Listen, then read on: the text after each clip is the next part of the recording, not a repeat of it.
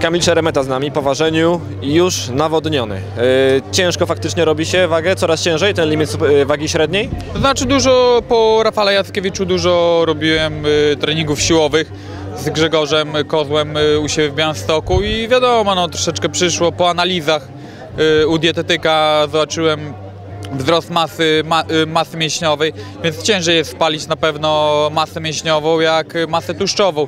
Zeszliśmy co mogliśmy razem z dietetykiem z masy tłuszczowej, a już te końcówki, te 3-4 kilo, no już trzeba z wody, już trzeba, no Trzeba już dwa dni nie jeść, no ale co zrobić? No, taki, taki to jest urok tego sportu.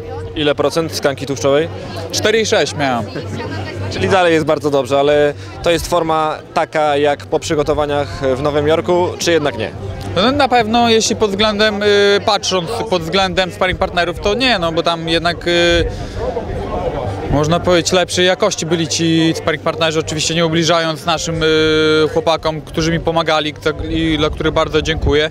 No ale, ale przygotowaliśmy się jak najlepiej potrafiliśmy i forma jest 10, 10 rund sparingu z trzema, czterema różnymi sparring partnerami. Dawałem radę, było bardzo dobrze. Na jaką walkę się jutro nastawiasz ze strony Hermana?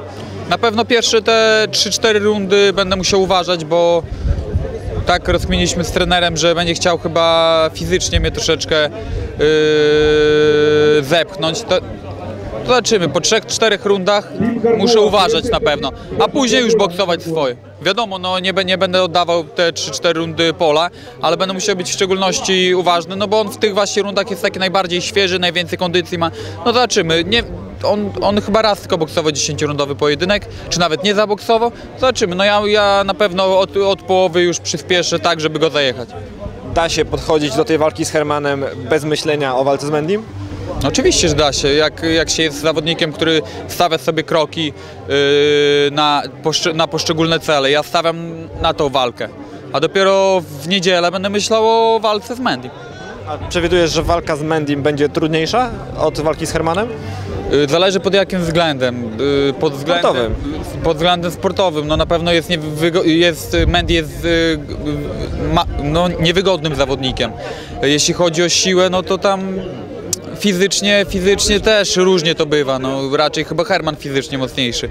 Tutaj no nie wiem, nie wiem. No, Mendy ma że- szybkie ręce, szybkie nogi, jakby jest niewygodny dosyć. no właśnie o to chodzi, że jest niewygodny i ciężko będzie ze znalezieniem sparring partnerów do niego, no ale zrobimy wszystko z Andrzejem Liczykiem, co, może, co możemy i, i ściągniemy takich zawodników, jakich to tylko będzie możliwe. Macie już plan, jak to będzie wyglądało po, po walce? Ile będziesz odpoczywał? Tydzień czasu, w niedzielę, yy, w sobotę walka, w niedzielę z rana wyjeżdżamy z narzeczoną do Białegostoku, pakujemy się i jeszcze w niedzielę o 22.30 mamy busa do Warszawy z Białegostoku i lecimy na, do Grecji na tydzień czasu, w końcu odpocząć. W końcu, żeby zag- wyjazd za granicę mi się kojarzył z urlopem, a nie z ciężkim zapierdolem, za przeproszeniem. No dobrze, jutro zobaczymy knockout?